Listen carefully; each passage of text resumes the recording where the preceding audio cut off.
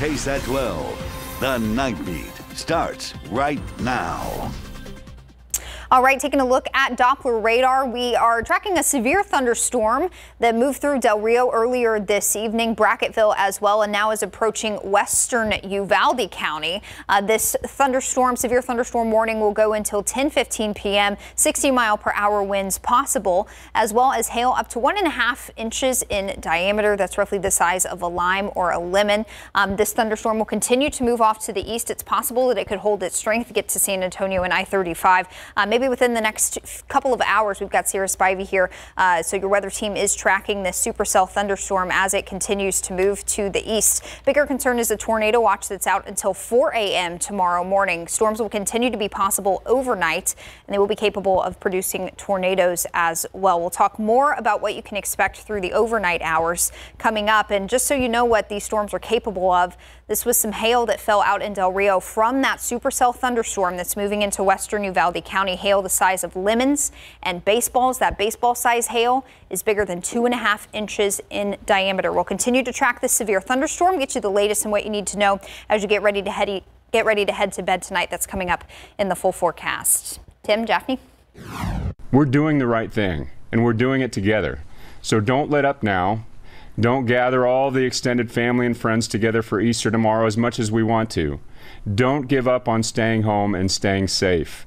We have, we have some ways to go, but we're taking actions and, and we are making a difference, a huge difference.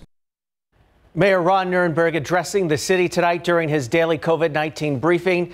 With now more than 4,300 people tested, the mayor revealing tonight there are 723 positive cases here in Bexar County. The death toll now standing at 27, including two more residents of the Southeast Nursing Home and Rehabilitation Center.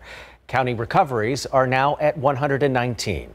Across Texas, the Department of State Health Services reporting more than 12,000 confirmed cases and more than 250 deaths. You can find a link to this dashboard map along with the latest numbers in Bexar and surrounding counties at ksat.com. Meanwhile, a second inmate at the Bexar County Jail has tested positive for COVID 19. Bexar County officials say that inmate developed a fever higher than 100 degrees yesterday. That's right. Afterwards, medical personnel did their evaluation, placing him in a negative pressure cell pending the results of his tests. Officials with the sheriff's office say early reports show that the inmate, who was a capital murder suspect, did not have any symptoms and was housed in a unit where there is minimal face to face contact and physical barriers like cell doors. At this time, officials believe the deputies who worked in the unit, as well as the inmates housed in the unit, are at low risk of contracting COVID 19. Judge Nelson Wolff says though the jail has potential for an outbreak, officials are doing everything they can within the confines of the jail to prevent that.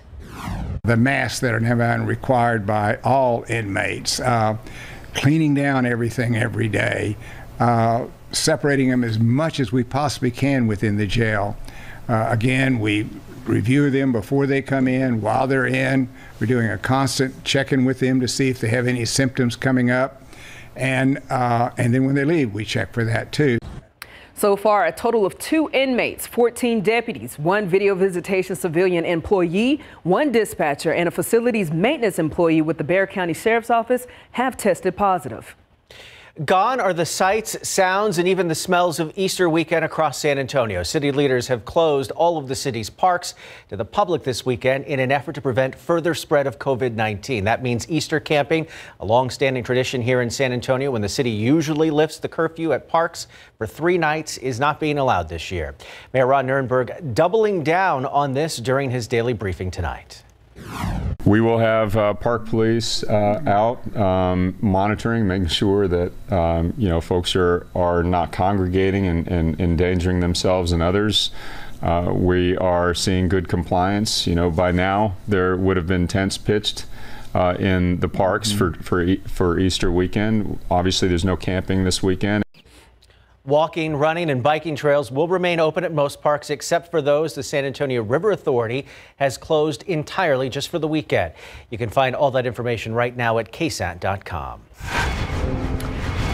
Six burglaries across the span of four months. In San Antonio, police say one man is to blame. Each burglary happening at a different location and each captured by surveillance, all leading to the arrest of 41 year old Fidencio Soto yesterday. The police believe the string of burglaries began back in November when Soto allegedly broke into a home with three children inside. The night team Stephen Cavazos spoke to the family who relived those frightening moments. I feel like he deserves what he gets. Sabrina Gaithan reacting to the news of Fidencio Soto's arrest, the man believed to be responsible for breaking into her home off Herald Court on the city's south side back in early November. Gaithan says her family has been living with a broken sense of security for months. And it made us feel like we weren't able to be comfortable inside of our home anymore. Gaithan says she has security cameras placed around her home. She says the day the burglary happened, she had left to get groceries. But after reviewing the video, that's when she got a clearer picture of what happened. That surveillance video shows Soto walking up to the home, which Gaithan believes he thought was empty, but inside were her three kids. The video shows Soto moving the camera away from his face before he's seen knocking on the front door. 14-year-old Vicente Lopez says he was watching his younger siblings while his mom was away. Get a little peek of him, but I didn't know who it was, so I didn't open the door. Two cameras located in the back of the home are also moved away from Soto's face. Lopez was in the living room when he heard someone trying to break through the back door. Lopez seen rushing to the back room. That's when he said he took his younger siblings to hide in the closet. Then the alarm went off, and then he ran, and then uh, the cops came. He says that's where they waited for a few minutes before they were found by a police officer. He says the moment has taught him an important lesson. Be aware of your surroundings. Pay attention to uh, other people. But Gaithan says she's still struggling to move on from the incident. It's hard to get over a break-in, especially when your kids are involved. Stephen Cavazos, KSAT 12 News. New on the night beat, two people in critical condition following a crash involving a van. That crash happened today on the Highway 90 access road in eastbound Military Drive. Witnesses told police the van was stopped at a red light. That's when a motorcycle pulled up behind. They were unable to stop before striking the back of the van. Witnesses say the driver of the van got out, looked at the motorcycle, and then fled the scene. The motorcycle driver and passenger were transported to the hospital. Police have arrested a man in connection with the hit and run death of 25 year old woman last week. 31 year old Israel Lopez is charged with failure to stop and render aid. The incident happened on April 2nd in the 3200 block of Roosevelt. Police say the victim, Yvonne Arias, was in the crosswalk when a pickup truck hit her and left the scene. She was transported to the hospital where she later died. An update now to a story we first brought you last weekend an Eastside Church's women's recovery home destroyed by fire. And now, thanks to help from the community, those women and children have a new roof over their heads. The sold out Believers Christian Fellowship Church lost the recovery house after church leaders say a child accidentally started a fire in the backyard. That fire then spreading to the house, destroying everything inside and displacing eight women and three children. After the story originally aired, someone in the community stepped up and offered to house everyone. Thank you so much from the bottom of Sold Out Believers. Our church is very faithful. Uh, we care about the community. We'll continue to care about the community. Thank the community for caring about us. Pastor Ray Torres with the church says the Good Samaritan will be housing the women and children until they're able to find another shelter. In another positive update tonight, people in our community are stepping up to help the San Antonio Food Bank stay afloat amid a massive demand for food due to the coronavirus pandemic. Thursday, an unexpected 10,000 people showed up during a mega food distribution at Traders Village. Hundreds of volunteers, SAPD officers, and staff scrambled for hours trying to provide food for thousands dealing with job losses and other financial struggles. Since then, Good Samaritans like Ambika Martha have donated thousands of dollars to the nonprofit nonprofit. So I challenge everybody to contribute whatever they can, you know, match what we are doing, exceed what we can do, what we are doing, you know, whatever they can do, whatever they're able to do. But let's get through this together. San Antonio author Shea Serrano has also raised more than $80,000. If you would like to see how you can help, visit our website at ksat.com. All right, taking a look outside with live cam. It's been a quiet day. And things are quiet out there right now in San Antonio, but that is not the case off to the west of the Alamo City, where a severe thunderstorm has rocked places like Del Rio and Brackettville this evening. That supercell thunderstorm now moving into Uvalde County. It does look like it's lost a little bit of its gusto, but still worth monitoring. And there is still a threat for some hail uh, working into Uvalde County as we speak. It's not to Uvalde or Highway 83 just yet, but it'll get there soon. And it still has a little bit of its supercell structure left to it so this storm still dangerous, still could produce some large hail and damaging winds. We're going to keep a close eye on that cell as it continues to move east, potentially closer to the I-35 corridor. As we get closer to midnight, off to the west, back in Val Verde County, more thunderstorm development, and that is likely going to be the activity that moves through overnight and into the pre-dawn hours of tomorrow morning. We're going to talk about everything, get you everything you need to know coming up in the full forecast. That'll be along in just a bit. Tim? A dangerous night. Thank you, Kaiti. Still to come on the night beat, the latest on the coronavirus pandemic here in the United States. After the break, some signs of hope as we cross more than half a million cases.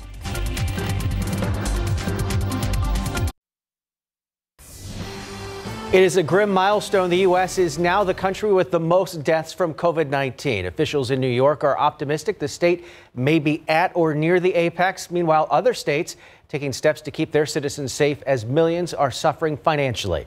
Here's ABC's Karina Mitchell with the latest.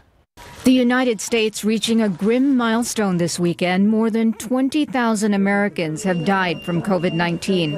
And in New York State, the hardest hit area in the U.S., the virus has killed more than 8,600 residents. But officials say there are signs the state may have reached its apex. That is not an all time high. Uh, and you can see that the number is somewhat uh, stabilizing, but it is stabilizing at an horrific rate. Maimonides Hospital in Brooklyn has been giving ABC News a look at what it's like inside the ICU. I've never seen anything like this. This, this to me is like a mass casualty event. It's like, it's like war. The pandemic also taking a devastating toll on the economy, nearly 17 million filing for unemployment over the past three weeks. However, ABC News has learned the first stimulus checks started going out this weekend. And in cities across the country, long lines at food banks. Nationwide, states taking steps to keep people safe. In Michigan, Governor Gretchen Whitmer extending her stay at home orders, banning travel between two residences. The only exceptions taking care of sick loved ones, visiting nursing homes, or for funerals. And in Texas, Governor Greg Abbott also increasing travel restrictions to his state. A 14 day quarantine is now required for all air travelers arriving from Miami, Atlanta, Detroit, Chicago, all California, and Washington state airports. As Easter approaches, there are fears of new outbreaks as some still plan to gather to celebrate, including the pastor of this church in Brighton, Michigan and Pastor Jesse Horton in Jackson, Mississippi. We will more than likely have more than 10. We will be sitting spaced as they wish. Kentucky Governor Andy Beshear says anyone gathering this weekend, including those at in person church services, will be required to quarantine for 14 days. Karina Mitchell, ABC News, New York. Now, earlier in the show, we saw some baseball sized hail produced by some severe weather. Kaiti Blake's been tracking it all. Kaiti, what's the latest? Yeah, we've got a supercell thunderstorm west of San Antonio. This supercell originated in northern Mexico earlier this evening and then moved right through Del Rio in southern Val Verde County and produced that large hail. Here are a few more KSAT Connect pictures for you of that hail reported in Del Rio. This one, it looks like it may be wider than the size of this apple and then some hail the size of baseballs. We've got a softball in the picture too. I don't think it got quite that big, thankfully, but baseball size hail is big enough because that's almost, that's big bigger than two and a half inches uh, in diameter. So major hail threat with this storm and uh, hail will continue to be an issue with storms as we head into the overnight hours. Here's that storm as it moved in from northern Mexico, moved right through Del Rio along the Highway 90 corridor near Brackettville. And now the storm is working into central Uvalde County. And we've got a new severe thunderstorm warning on this storm. We're going to dig right into it in just a second. But hail, not the only concern with storms as we head into the overnight and pre dawn hours. Also, damaging straight line winds will become a concern mainly later in the night and very early tomorrow morning. And because that supercell um, has had a history of having tornado warnings on it. It's been trying to rotate. Tornadoes will be possible. I think the threat for that will mainly be with this supercell that's out there now. Uh, but even as we head into the overnight hours, please keep in mind that uh, storms capable of producing tornadoes will be possible. And we've got a tornado watch out for all the counties in red here. This is a good chunk of the KSAT viewing area, including most of the hill country, San Antonio and Bexar County, and even a few of our southeasternmost counties. That's going to go until 4 o'clock tomorrow morning. So that's why I can't stress enough that you must make sure you have a way to receive severe weather alerts while you're sleeping tonight because a lot of us are going to see thunderstorm activity while we're asleep. So you got to have something that will wake you up. You've also got to have a plan in place so that if there's severe weather moving through in the middle of the night, you know where you and your family need to go. Let's get back to Doppler radar. There's the tornado watch box. That's what I was just showing you. And then we've got our severe thunderstorm that continues to track off to the east. This is moving east at roughly 35 miles per hour. Uh, and I do want to take a closer look into this storm for you here. So I'm going to use a little bit of hand tracking. So we'll get down closer here. Um, the structure of this storm has typically been that of a supercell. So we've got the big kind of updraft flank here um, and then the little kind of appendage here on the bottom. This is the part of the storm that has had a history of trying to rotate and was previously tornado warned. It's not tornado warned at the moment, but the National Weather Service is keeping an eye on it. Just the way our atmosphere is stacked today, it's really easy for these storms to try to twist and rotate, and that leads to the potential for some tornadoes. So no tornado warning right now. And the worst of this storm is going to miss Uvalde just to the north, but Concan there along uh, Highway 83. You're getting some heavy rain moving in now. And really quickly, we'll dissect this storm and see where we could maybe have a hail core right now. So we're looking for kind of blue and gray color. So compared to the history of this storm, this is not nearly as big of a hail core as what we have seen. Nonetheless, some hail still possible along 55 here. So we'll do a quick little query and see what we can try to figure out as far as hail size go. Keep in mind this is our radar product for estimating hail size until we really get reports. It's hard to know. Um, some of the reports back, of course, in Del Rio, Brackettville, very large hail, and the hail core signature looked much better there. This looks like some smaller hail, so maybe hail up to the size of quarters, but the formal severe thunderstorm warning on this storm does include hail up to one and a half inches in diameter, and that would be approaching the size of a lime or a lemon, and that's certainly nothing uh, that you want to fall on you where you live. So another look at radar here. Again, this storm is moving off to the east at 35 miles per hour. So I do want our friends over in Medina County to keep a very close eye on this storm.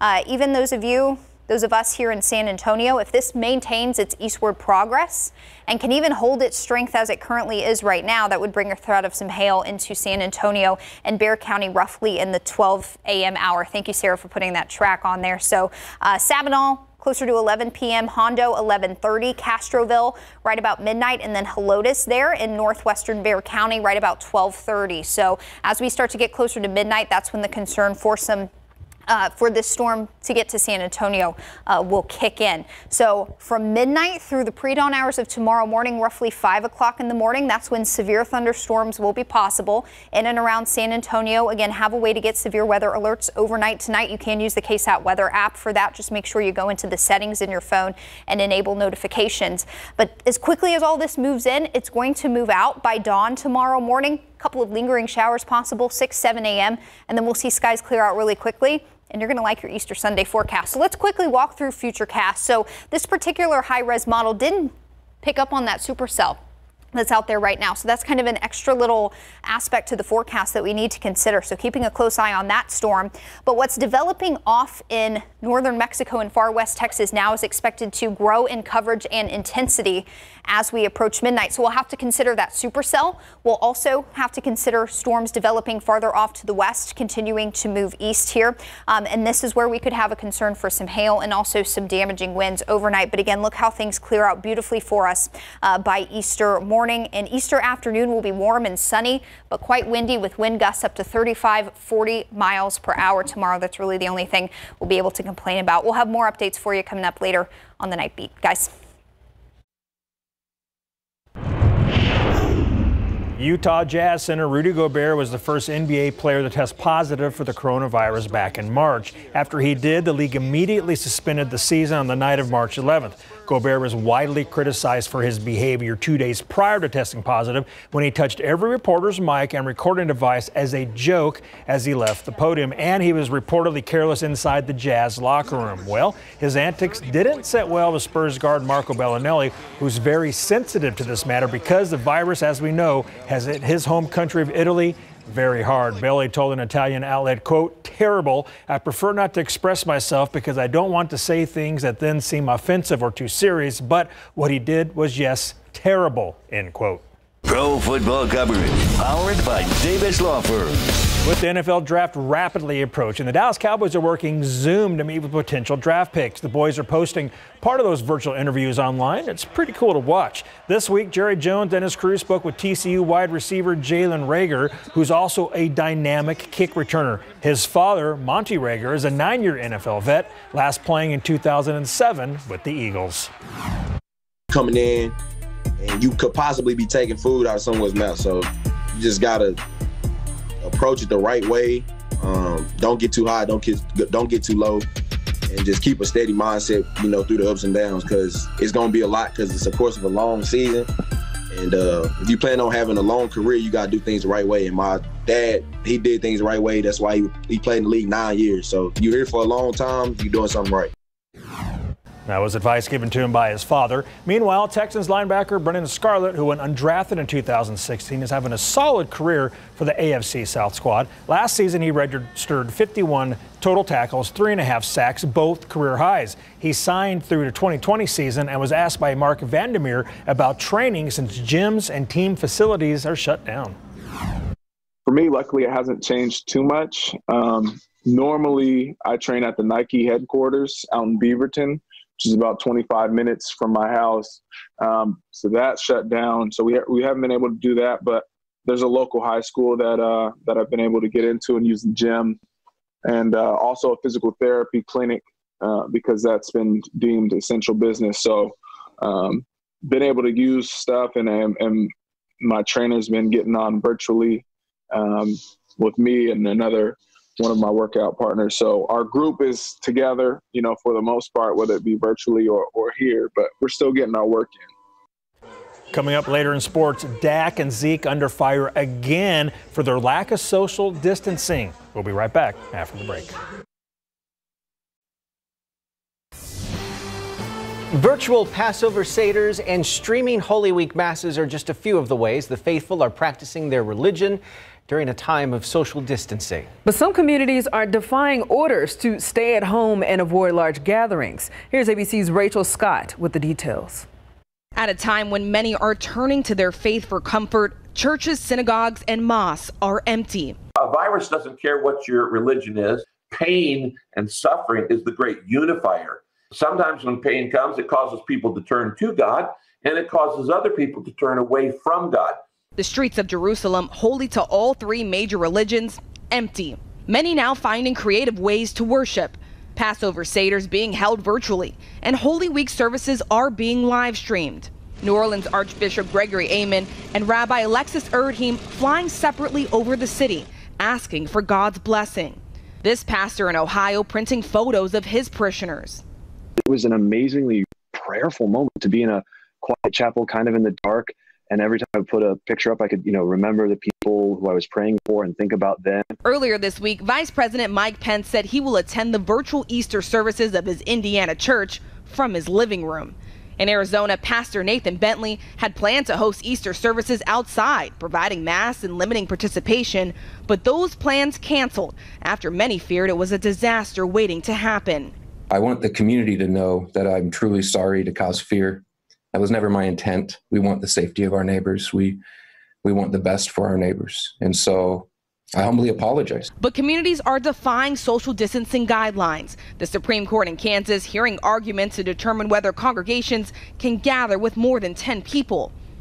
With a shockingly irresponsible decision that will put every Kansas life at risk. Overseas, Pope Francis celebrating Easter Vigil Mass in an empty St. Peter's Basilica. And in Germany, drive in theaters are making a comeback cathedrals of cars. Rachel Scott, ABC News, Washington.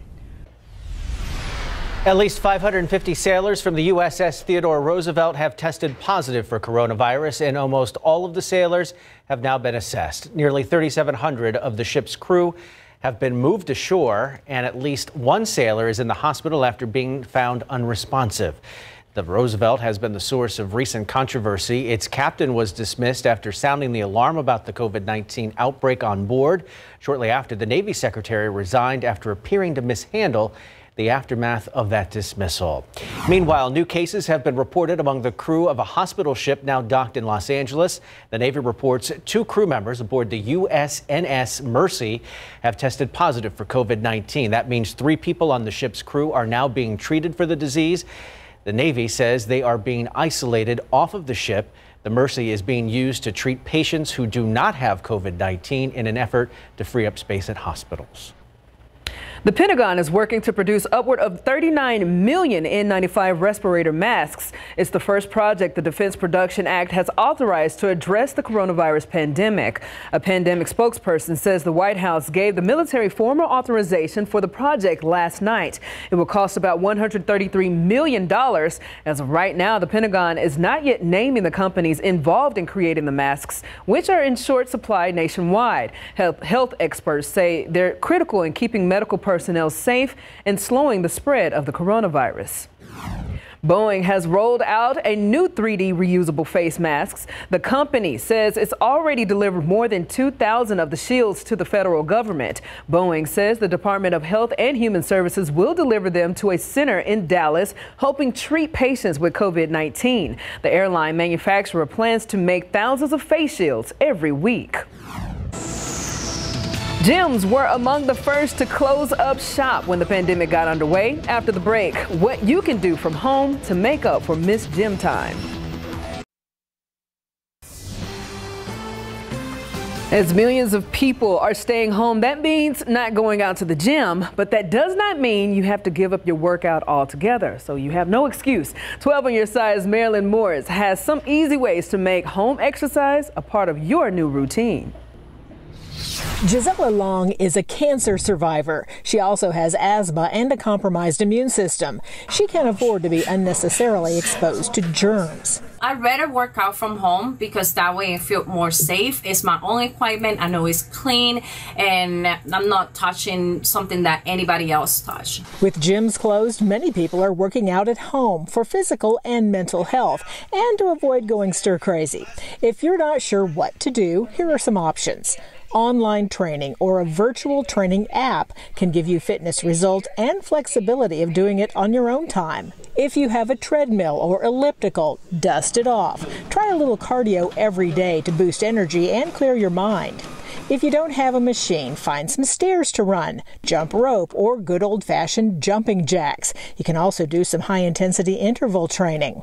Strength training helps preserve muscle mass and maintain metabolism, and it can be done effectively using little more than your own body weight or small hand weights. The goal? To stay active and healthy while you're home. Marilyn Moritz, KSAT 12 News. Outside with live cam, 74 degrees. No rain here in the Alamo City just yet, but we're keeping a very close eye on a severe thunderstorm west of Bexar County, moving into central Uvalde County as we speak. The severe thunderstorm capable of producing some large hail and also some damaging winds as well, maintaining its supercell structure here. So this is still a very dangerous storm. The worst of this will be north of Uvalde, but 83 between Concan and Uvalde. You're getting the worst of it now, and the storm will continue to move east. We'll put a track on this, let you know when it could potentially make it to the I-35 corridor, and get you your forecast for the rest of the night coming up in just a couple of minutes. It has been a dangerous night out there. You know things are serious when Kaiti is joined by half of the weather team. Adam yeah. Caskey now here with Sarah Spivey, all tracking these storms. Yes, there they are. Caskey with the shirt untucked. One big family. yes. Uh, yeah, we're keeping a close eye on things for you because we're going to continue a chance of some strong to severe storms as we get into the pre-dawn hours of Easter morning. The story so far has been a severe thunderstorm that produced some grapefruit-sized hail out in Del Rio earlier this evening. That supercell uh, moved right through southern Val Verde County, all the way through Kinney County and Brackettville. It produced some large hail there as well. It was briefly tornado warned because of some rotation, uh, but that rotation has since let up, and now we're left with a severe thunderstorm warning. But this is still not a storm to mess with at all. It has weakened and doesn't look as impressive on radar as it looked earlier in the evening when it was producing that very large hail out in Del Rio and Brackettville. So since it produced that massive damaging hail, it has weakened a good bit. And when you look at it on radar, you can still kind of see the supercell structure and something that almost kind of looks like a hook here, uh, but it's kind of starting to look a bit more frazzled and not as organized. And that is good because that means the potential for it to continue to produce that very large hail and even a tornado is less and less as it continues to look very disorganized. Nonetheless, though, some heavy rain here, frequent lightning. Um, and here's the track on this storm. So it's moving east at about 35 miles per hour. So at this pace, if it holds itself together, it would approach Sabinal around 11.09 p.m., D'Hanis 11.30, Hondo 1142, Castroville uh, a few minutes after midnight, and then Boerne um, about 1230. So would roughly be working into uh, western Bexar County sometime after midnight. So we'll keep a very close eye on this storm over the next couple of hours because it is the most immediate concern of all the storms that we have out there on radar. So I do quickly want to take a look at the hail on this storm. Um, if you were with us last half hour, we were looking at the hail core and compared to how the hail core looked when it was out in Del Rio, it was much smaller and that continues to be the case. So we'll zoom in a little bit closer here so this is between Uvalde and Concan. So if there is hail, um, it has missed those two populated areas, which is uh, some good news. But a quick query will show us that some hail, um, the warning is for hail up to an inch and a half in diameter, and that's about what our hail product is registering. So that's roughly the size of a lime or a lemon, and it's certainly not anything you want falling on your vehicle or anything like that.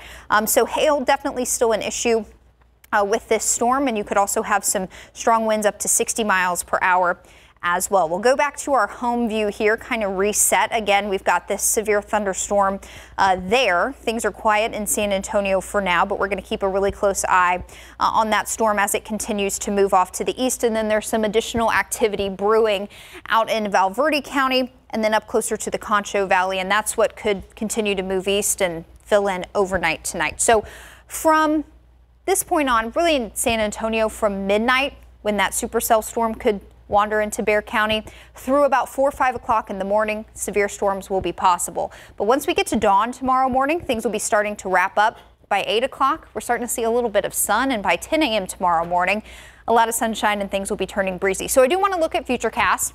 This model is not seeing that thunder that supercell that's out there in Uvalde County right now. So that is something to consider. So as we get to midnight, We'll have to watch and see where that supercell goes because it could be working closer to the I-35 corridor. But then we've also got more thunderstorm activity that is expected to organize and grow in coverage.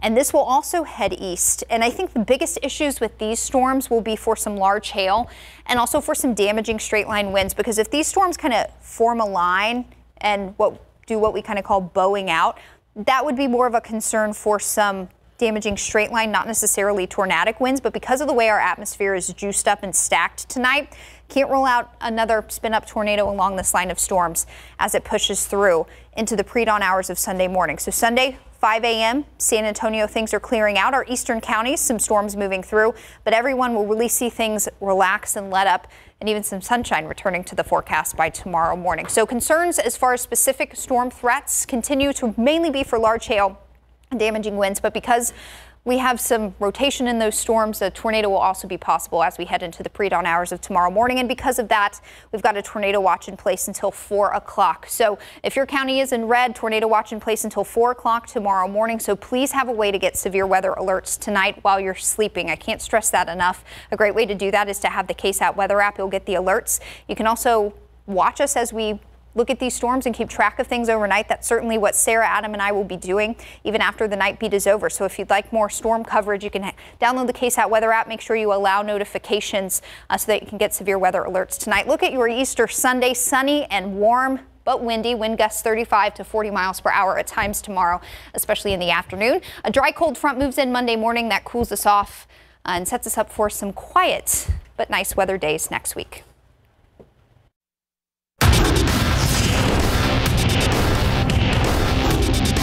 If there is another oval next week, would you be up for it again? Definitely. Um, I, I really appreciate the invite. And I think I need to do a better account of myself as far as just showing pure speed. NASCAR legend Dale Earnhardt Jr. took on the best in IndyCar racing this afternoon, and he'd love to do it again next week in Big Board Sports. Pro football coverage powered by Davis Law Firm. Dallas Cowboys quarterback Dak Prescott is making headlines for a reported disregard of coronavirus mandates. According to TMZ, Dak hosted a birthday party for a friend Friday night at his house in Prosper, and star running back Ezekiel Elliott was one of the guests. They say at the height of the bash, there were about 30 guests. Photos from the party show guests were not practicing social, social distancing, standing closer than six feet and gathering in a group larger than 10. Prosper PD told TMZ Sports it responded to a report of a potential party at Dak's house, but the officer was unable to confirm the report. Tampa Bay QB Tom Brady wants to make sure any creative naming combinations fans can think of belong to him first. Agents for Brady are looking to trademark Tompa Bay, Tampa Brady, and TBXTB. But as ESPN reports, some fans were one step ahead, submitting applications to trademark the names before the QB. Like the rest of the pro sporting world, San Antonio FC is waiting to see when and where their season will resume. But instead of going home to spend time with friends and family, most of SAFC players and coaching staff are still here in the Alamo City. They have found other ways to stay in contact with each other and build team chemistry, including training sessions over Zoom. Defender Hunter Gorskie says that during this hiatus, the team's main focus is pretty simple. Being responsible because you know we're not just accountable for ourselves we're accountable for our whole team and, and largely the community right? We don't want any we don't want to contribute to the spread in any way. So i think it's you know we have to be diligent take care of ourselves. That also takes into account our diet. You know right now we're not on the field running as much and and it's a different type of fitness right now. So you really have to be careful what you're putting inside your body. Um, and then you know the other focus is is just uh, is just staying present. And and just taking it taking it a day at a time and just you know trying to be your best self.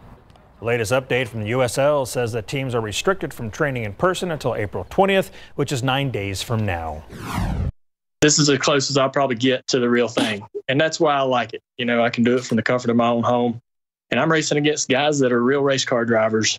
NASCAR legend Dale Jr. took on the best IndyCar has to offer this afternoon, the iRacing Challenge at Michigan, and he avoids some chaos right at the start of the race. Multiple cars crashing into each other. Luckily, it's all virtual. Earnhardt manages his fuel well and ends up moving up to take third in the final lap, securing a podium finish in his first ever Indy car race. But Indy 500 champion Simon Pagenaud hangs on down the stretch to claim the victory. He celebrated with a champagne bottle his wife had purchased for him in advance.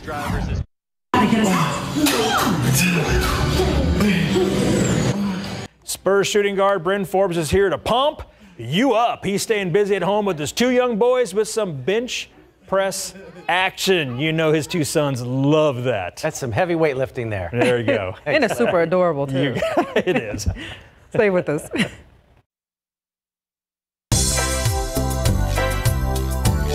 It's a lasting legacy that will never fade. Selena Quintanilla was just about to be 24 when she was murdered in 1995. Since then, her popularity has grown and she continues to break records even today. Selena broke many barriers and is the number one selling Latin artist of all time with 70 million records sold worldwide.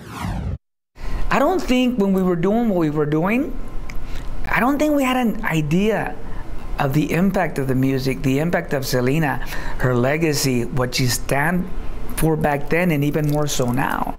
For more on Selena's legacy, make sure to watch our one-hour special on the Queen of Tejano music. It's called Siempre Selena, and it airs right here on KSAT 12 tomorrow at 9 p.m. Well, that does it all for the time that we have for tonight. Thanks for watching. Those storms are still out there. Kaiti, Adam, and Sarah are standing by in the Weather Center. They are tracking them all for you right now. They will be here throughout the night. Uh, they will be on the live stream on ksat.com or on KSAT uh, Facebook page, and they'll be cutting in as necessary. So stay tuned for that. Stay safe, and we'll see you tomorrow. Have a good night.